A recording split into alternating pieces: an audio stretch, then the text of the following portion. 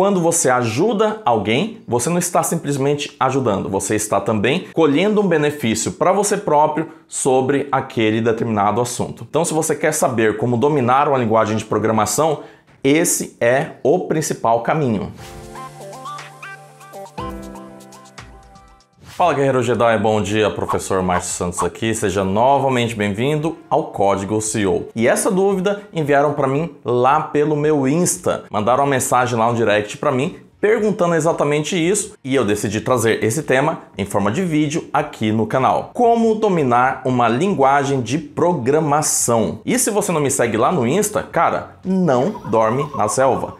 Lá pelo Insta você consegue um contato muito mais próximo comigo, você pode mandar perguntas, tirar dúvidas, enfim, interagir diretamente comigo. Me segue lá, o endereço está aparecendo aqui na descrição do vídeo e em algum lugar aqui na tela também. Mas bora então direto para o conteúdo. Como que a gente faz para dominar uma linguagem de programação? Respondendo direto na cara e na lata para você, é resolvendo BO. Exatamente. Você fica bom numa linguagem de programação, você passa a dominar uma determinada linguagem de programação quando você começa a resolver BO, cara, quando você começa a resolver problemas que envolvem aquela linguagem. Eu vou mostrar para você como foi a minha trajetória na programação quando eu migrei lá da linguagem Perl para a linguagem PHP e JavaScript lá no finalzinho dos anos 90. Na época eu participava de vários fóruns na internet, né? Hoje em dia os fóruns não são mais tão comuns. A gente fala mais de outras redes sociais, outro tipo de mídia, mas na época o que dominava era os fóruns.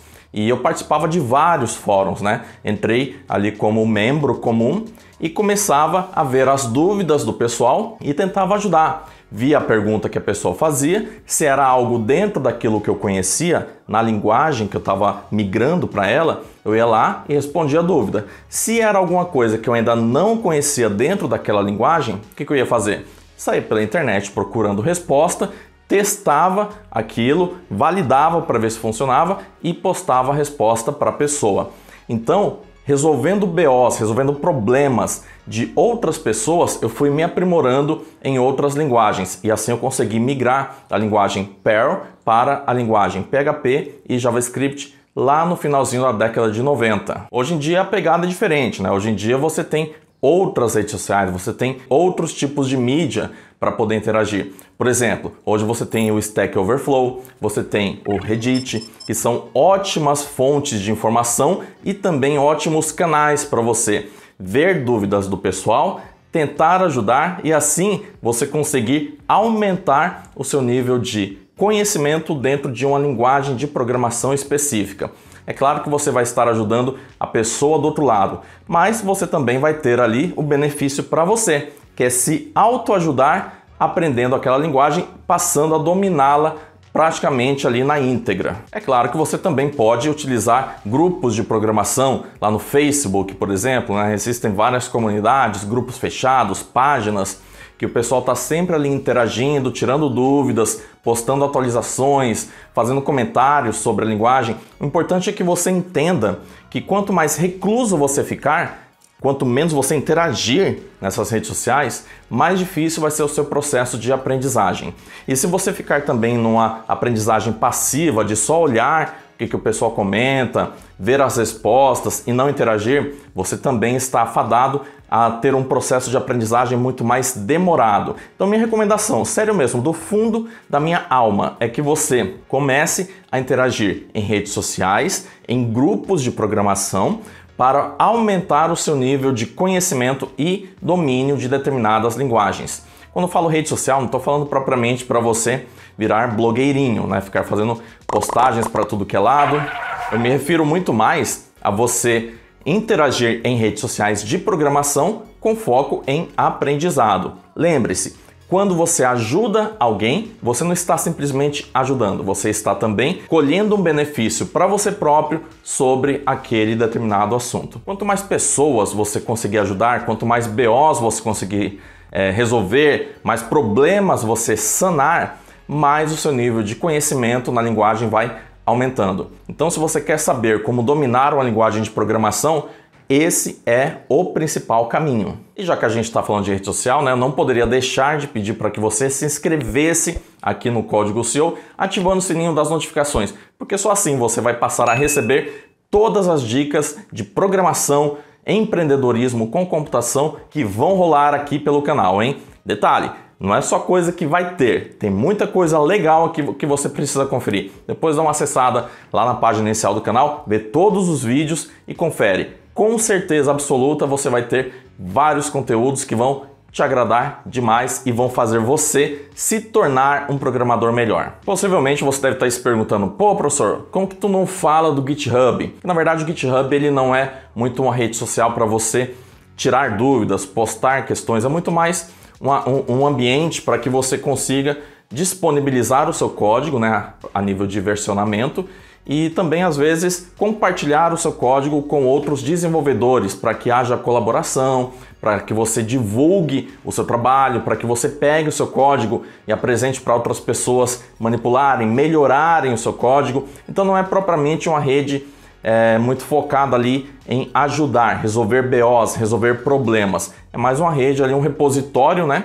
para você manter versões do seu código. E por falar em Git, depois dá uma conferida nesse vídeo que está aparecendo aqui nos cards, em que eu explico detalhadamente o que, que é o Git, para que, que serve o Git, como funciona sistemas de Git, como o GitHub, por exemplo, sistemas de versionamento de uma forma geral, SVN, enfim, um vídeo completo sobre todos esses tópicos que você, enquanto programador, precisa dominar. Bom, depende, né? Se eu já gravei esse vídeo, se eu já gravei, ele está aparecendo aqui. Se eu não gravei ainda, então ele não está aparecendo.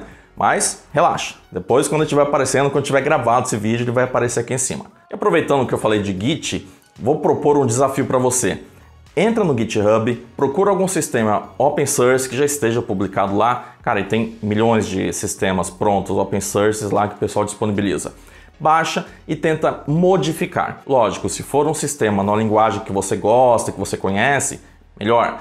Mas se você está querendo migrar para alguma outra linguagem, pega essa oportunidade baixa algum sistema nessa outra linguagem que você quer migrar ou nessa linguagem que você quer aprender e começa a modificar o sistema. Desse jeito, você vai criar os seus próprios BOs, porque vai ter coisa ali que você quer resolver, que você quer fazer, mas só que você não sabe como fazer. E aí, obrigatoriamente, você vai ter que procurar na internet, em livros, vídeo, videoaula, curso, enfim, você vai ter que procurar soluções para resolver aquele BO que você mesmo criou. Então, tenta pegar esse desafio, ver o que, que você consegue resolver. E se topar esse desafio, já escreve aqui nos comentários. Ó, oh, professor, tô topando o desafio, o programa, o sistema, o software que eu peguei para resolver é esse daqui. Aí aponta o link se você quiser, ou coloca só o nome do sistema que você está querendo modificar. Comenta aí para a gente ver como está o engajamento de vocês quanto a resolver BOs para poder ficar bom em programação. Detalhe, viu? Aprender programação não é difícil. Depois confere esse vídeo que está aqui em cima nos cards, onde eu falo direitinho que quem quer realmente aprende. Quem não aprende é porque não quer de verdade. Aí ah, um detalhe sobre redes sociais. Não precisa ficar com medinho falando, ah, mas eu vou lá postar uma resposta, às vezes a minha resposta não está tão certa quanto a resposta de outros. Cara, relaxa. Se você ficar se preocupando com a opinião de terceiros, você nunca vai evoluir. Posta lá, certo? Se vem alguma resposta melhor que a sua, maravilha, você pelo menos aprende com alguém que tem mais experiência. Se não vier nenhuma resposta melhor que a sua, parabéns, a sua foi a melhor resposta que aquela dúvida, que aquela pergunta teve. E sempre vão ter dúvidas de vários níveis. Vai ter dúvida lá para programador sênior, vai ter dúvida para programador pleno, vai ter dúvida lá para programador júnior, vai ter dúvida para programador full stack, front-end, back-end, enfim, vai ter dúvida para todo tipo de nível de programador. Com certeza vai ter dúvidas então para o seu nível de programador. E aproveitando que eu falei em full stack, back-end, front-end, confere depois esse vídeo que está aparecendo nos cards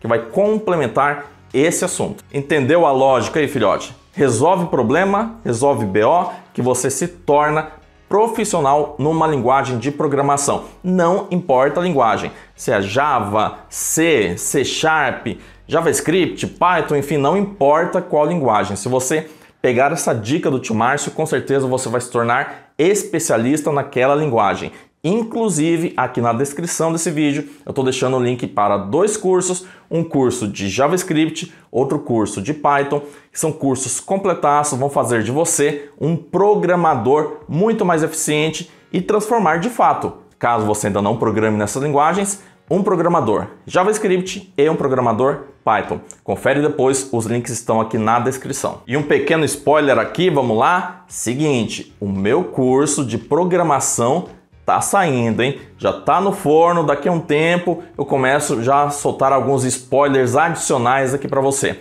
Para você não perder nada, é claro, vou pedir para que você se inscreva no canal, ative os sininhos e na descrição também eu deixei um link para que você se cadastre na minha newsletter. Sempre que tem alguma novidade, o pessoal que está cadastrado já recebe direto, logo assim, de primeira mão, os avisos por lá, por e-mail. Então se cadastre para você não dormir na selva, não marcar bobeira e receber os avisos logo de cara. Cara, agora eu queria te agradecer por ter ficado comigo até o finalzinho desse vídeo. Valeu mesmo, brigadão. Se você ainda não curtiu o vídeo, aproveita aí, clica no curtir, assim o YouTube começa a divulgar muito mais esse conteúdo. Eu vou ficando por aqui, mas eu tenho um compromisso contigo no próximo vídeo. Fechou? Grande abraço e que a força esteja com você.